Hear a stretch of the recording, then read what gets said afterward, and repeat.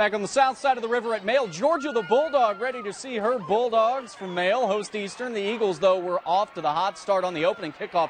Shane Field scoops the short kick and goes right through the Bulldog defense, goes down the right side, breaks a couple tackles, and scores Eastern up 7 to nothing. Little later in the first, after teams had traded turnovers inside the Eagle five yard line, Male's Marquis Northington going to score on fourth down from two yards out. That tied the game at 7. Eastern, though, would go on to win. It beats Male 35 to 20.